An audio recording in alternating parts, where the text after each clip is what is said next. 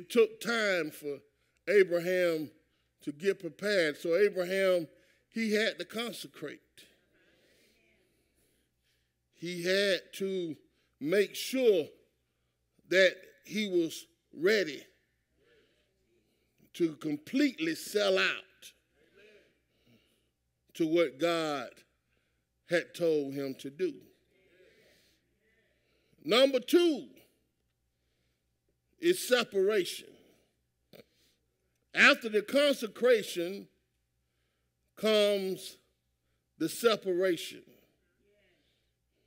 And that's the next big challenge that God has for those that believe him is that he's going to call you apart. If you're going to really serve him, God say, you're going to have to be willing to cut loose from some of them friends. You're going to have to be willing to cut loose from some of those acquaintances.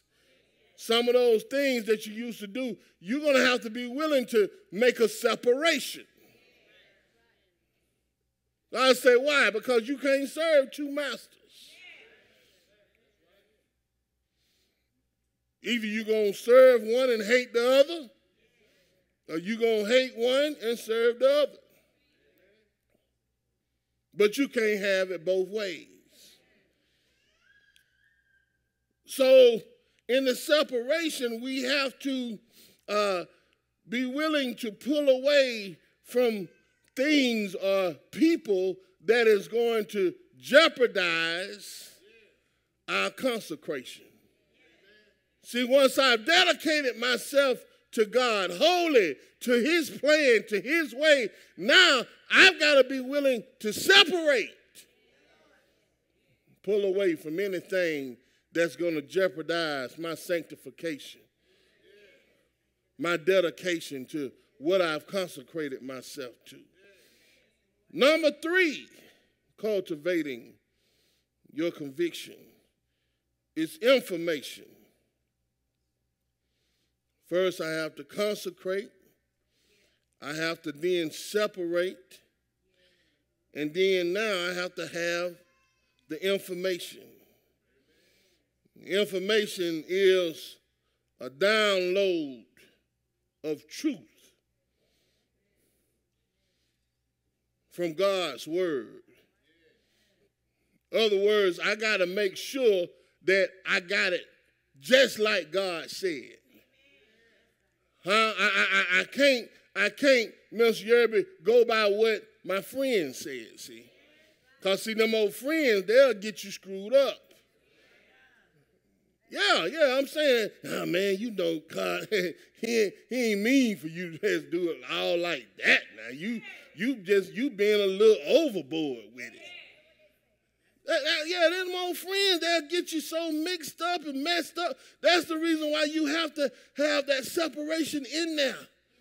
Because when the download comes, you cannot have two and three streams of information coming in.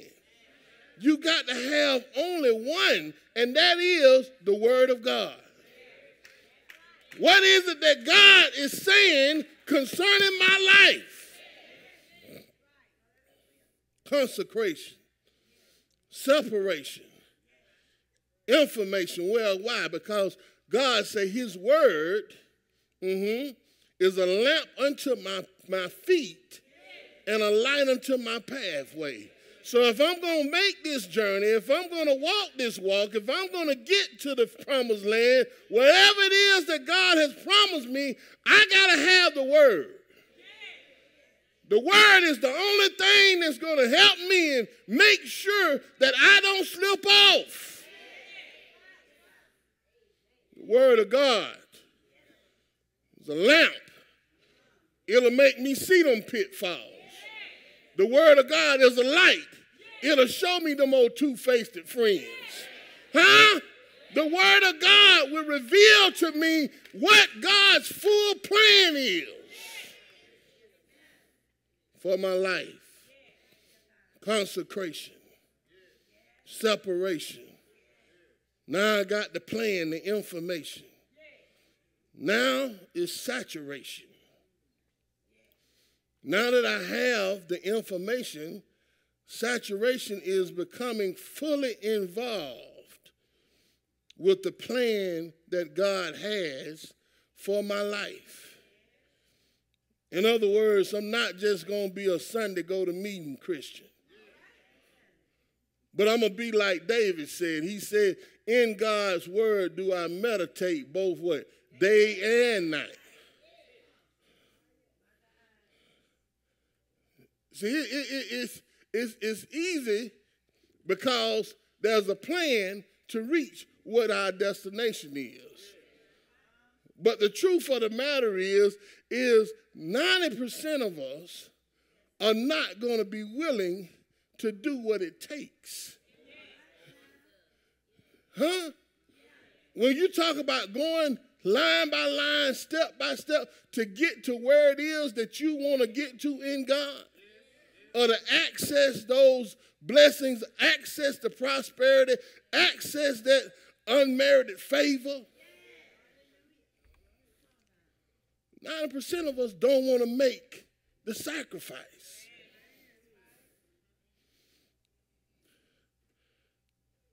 Consecration, separation, information, then saturation.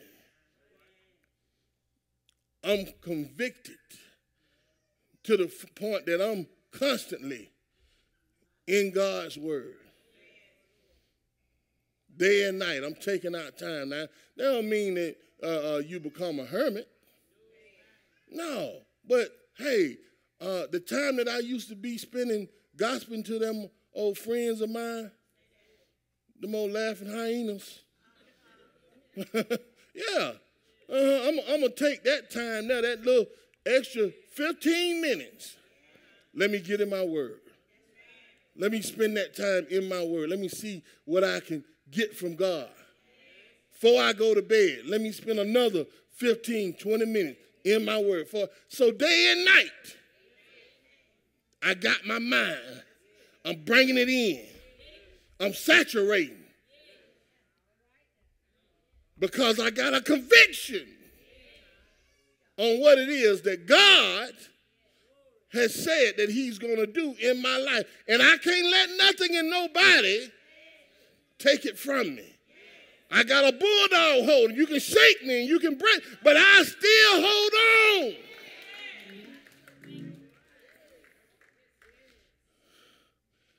After saturation, there is then deliberation.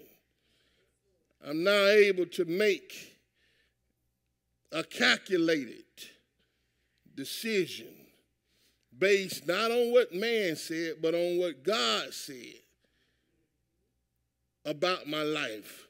Irregardless to the climate or the current situation or circumstances that I'm dealing with, I'm judging everything according to God's word,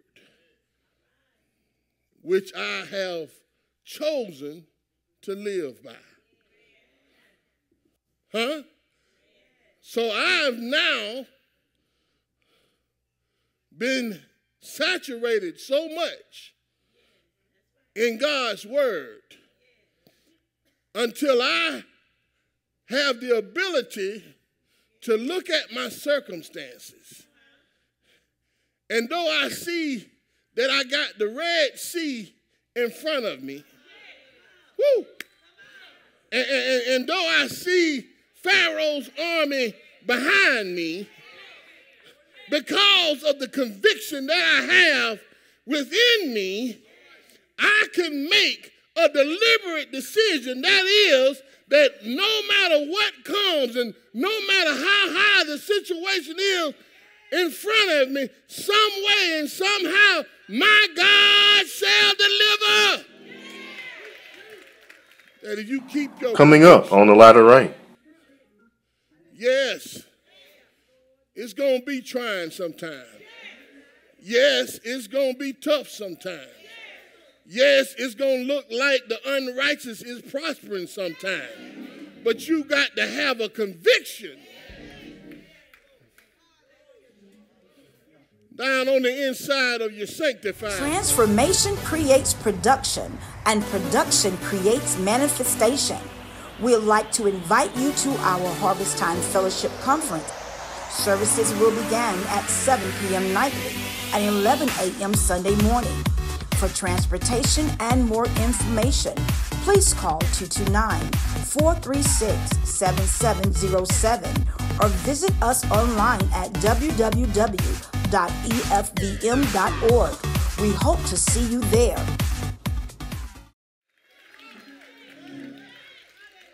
My God is going to bring me out.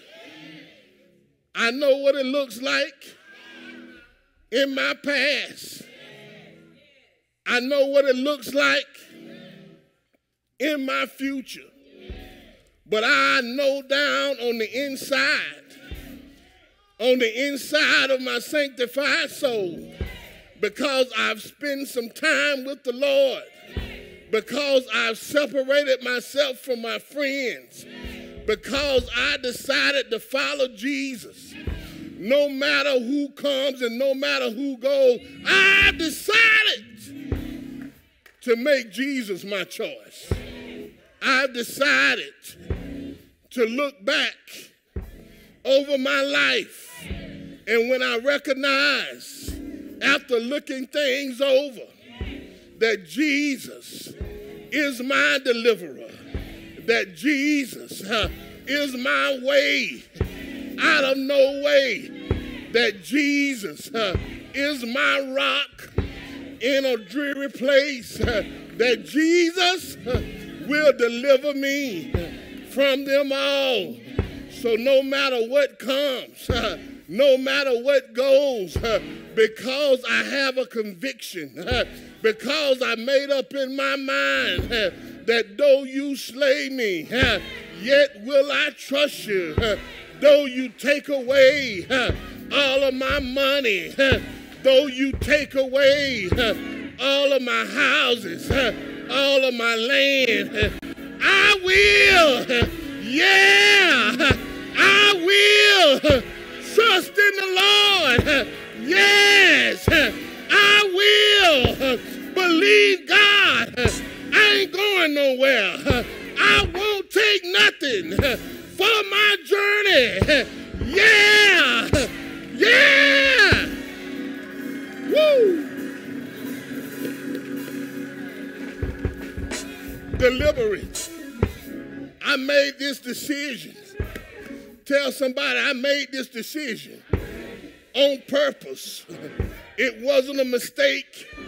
I didn't just wake up and decide to do this but I made up my mind on purpose uh, that I'm going to live for Jesus. Uh, I made up my mind that no matter who leaves uh, or no matter who comes, uh, I'm going to hold on uh, and see what the end uh, is going to be. You ought to say, Yeah, I'm not turning around. I'm not taking down. I'm not going back. Ain't nothing back there but death, hell, and destruction.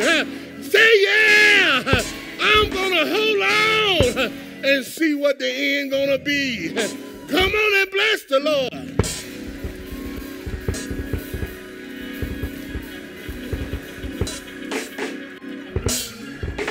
Deliberation. I made up my mind on purpose. And so finally, I'm determined now. After I consecrated, I've separated, I've got the download of information. I've been saturated in the Word of God. And then I've made a deliberate decision to hold on now I've got a dogged determination. Now I've got a bulldog hold on what thus saith the Lord. So I don't care what mama said about it. I don't care what sister said about it. I don't care what the homeboy said about it.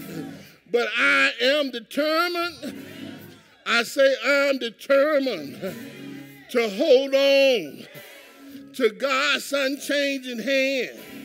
See, when we have determination, our determination causes our flesh to line up with the will of God. Good God Almighty, my mind goes back and I can remember my master. I can remember King Jesus in the Garden of Gethsemane. And I can remember him uh, after he had gotten to the place uh, that he didn't feel like he could go any further uh, the Bible declared that he began to pray uh, until blood poured out of his pores.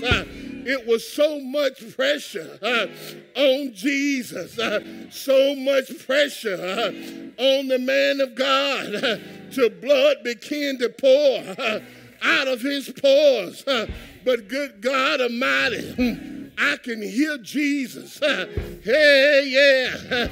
I can hear Jesus uh, because of his conviction. Uh, I can hear Jesus uh, begin to ask his daddy, uh, Father, uh, if it be, uh, let this cup pass from me. in other words, I wish that I didn't have to do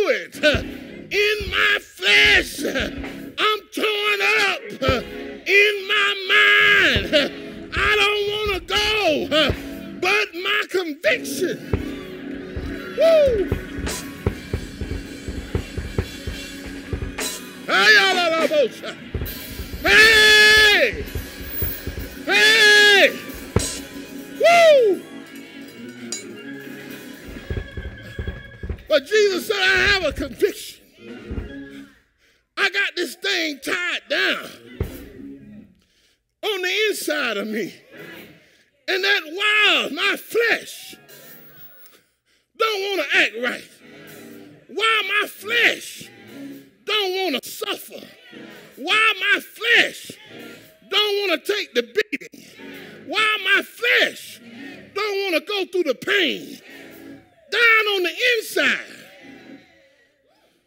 Jesus said, Nevertheless, I don't know about you, but I have a nevertheless down on the inside.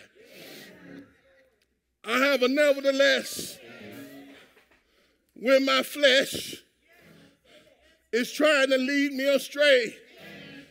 I have a nevertheless when those friends are trying to distract me.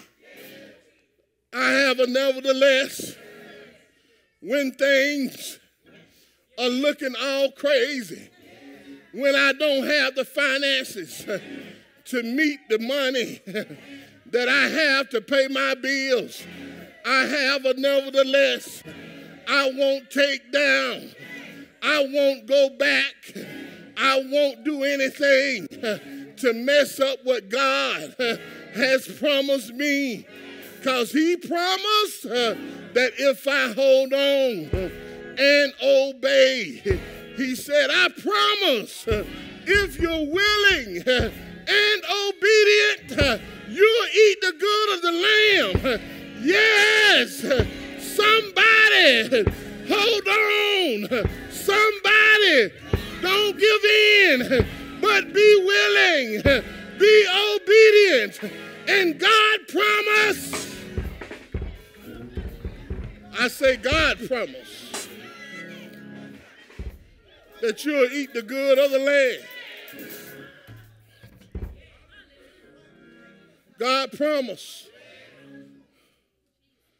that if you keep your conviction, yes, it's going to be trying sometimes. Yes, it's going to be tough sometimes. Yes, it's going to look like the unrighteous is prospering sometime, but you got to have a conviction down on the inside of your sanctified soul that says, nevertheless. Yeah, I see what they got over there, but nevertheless, Yeah, I know they laughing at me. but nevertheless, yeah, I know they picking at me. But nevertheless, yeah, I ain't got the kind of car I want to drive right now. But nevertheless, yes, I got a conviction. I got a promise. I got a word from the Lord. And that's more to me than silver and gold. That's more to me than houses and land. That's more to me than what who comes and what who goes. Because I know who God is. See, I don't know what you all might do. I mean, I'm saying I thank God for you. But honestly, I just don't know. If a, if a bomb hit, everybody might leave. I'm talking to one of my pastors, and they say, Chief, I had an issue at the church, and somebody went to cutting up and acting crazy. I ain't know what my deacons look like. I ain't have hardly nobody. I said, ah, well, let me go out here. And sometimes it happens like that. Yeah, you, you know that you have people that you have put in the position and you believe that they're going to do what they're supposed, but you really, you just don't know. But what I'm saying is when it comes down to the master, when it comes down to the Lord, if it's nobody but you and Jesus, woo, hallelujah. If it's nobody but you and Jesus, that's enough.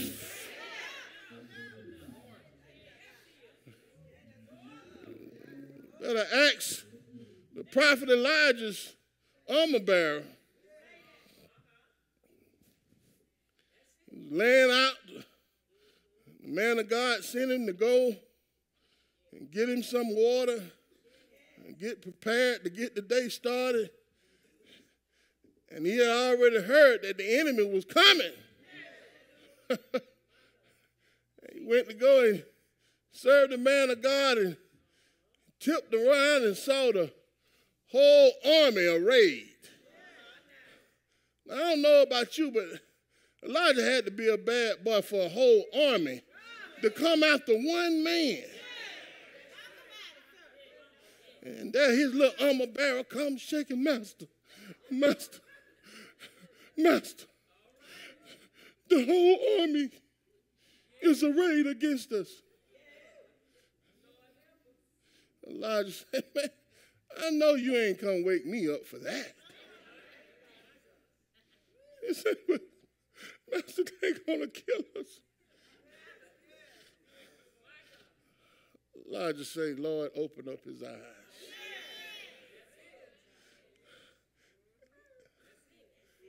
And with many of us.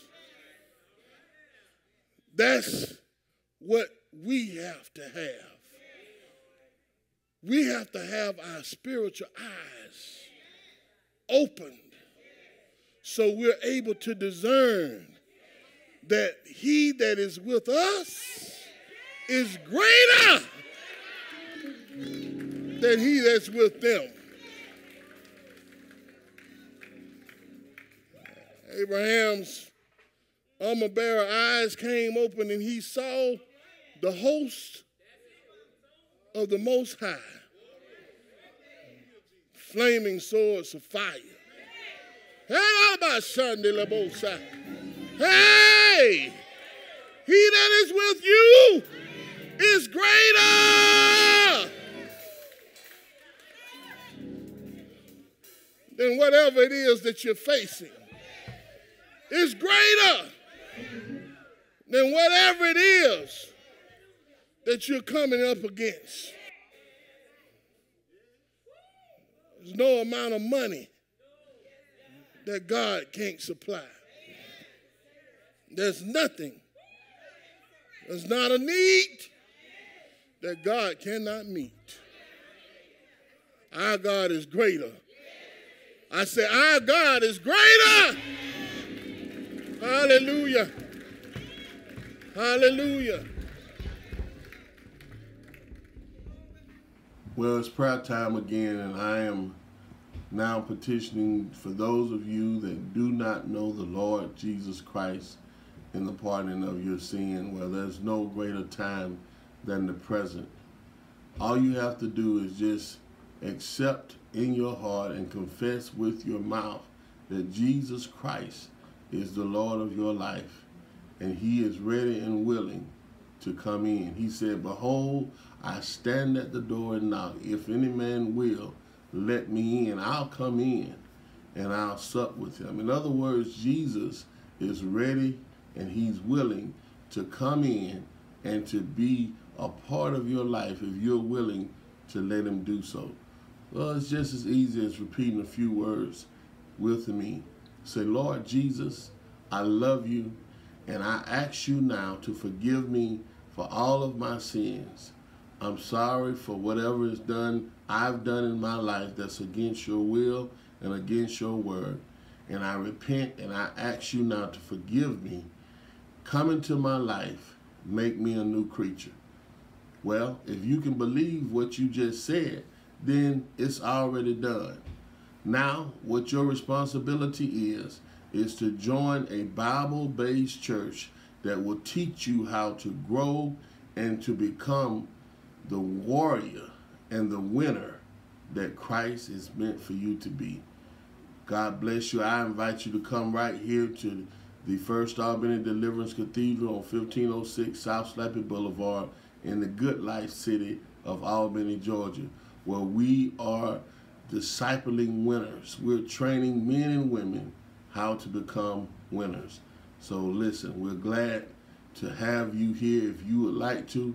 We have Bible study every Wednesday night at 7 o'clock. Church services each Sunday at 10.30. And we'll be looking forward to see you here. God bless you now. Look to see you. We love you. Thank you for tuning into Latter Rain. We hope you have enjoyed the word this morning. To order a copy of this message in its entirety, please visit our online store at www.efvm.org or call 229 436 7707. To partner with us on our mission to spread the gospel of Jesus Christ, please make a donation by clicking the Give link on our website or through the Givelify app. Once again, we thank you for tuning into Latter Rain. Join us next week as we experience the outpour, the overflow, the latter rain.